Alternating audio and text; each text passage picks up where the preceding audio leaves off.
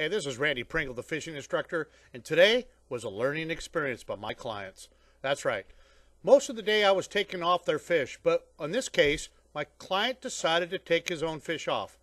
What he did was, when the fish wiggled, the hook went right into his hand. Those IMA hooks are sharper than nothing. So I explained to him that I could get the hook out. So what I'm doing is I'm removing the secondary hook.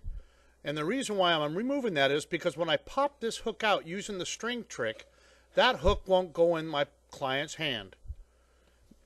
Once I remove that hook, get it out of the way, I then grab some SpiderWire. Yes, it has to be SpiderWire. It's the only line that'll work. Then I make a loop on it and put it around the bottom hook that's in his thumb.